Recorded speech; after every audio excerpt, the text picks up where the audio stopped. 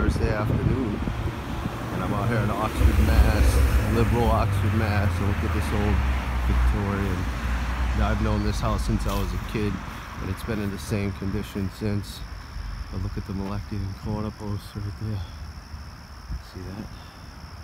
Remember I said I'd present them in every town? Here we are in Oxford. I don't know who owned this house, the elitists in the earlier days. Well, nice preserved.